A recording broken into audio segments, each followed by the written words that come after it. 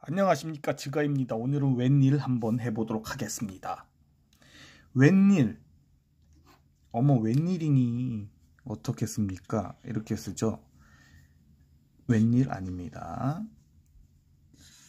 다 웬으로 씁니다. 웬으로. 모든 거는 웬으로 쓴다. 모든 것은 웬으로 쓴다. 하지만 예외가 딱 하나 있죠.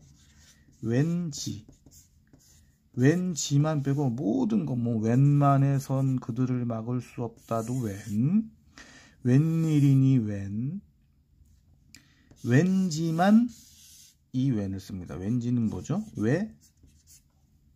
인? 지죠? 왜인지 why잖아 why 왠지는 왜? 인 지 왠지만 웬으로 쓰고 나머지 모든 것은 다 웬으로 씁니다. 그 이유는 왠지 저도 몰라요. 왠지만 웬이고 나머지는 다 웬이다. 그 이유는 왠지 저도 잘 몰라요. 안녕. 오늘의 영어입니다. 그는 귀가 얇아. He is gullible. He is gullible. 걸릴 수 없는 거죠. gullible. He is gullible.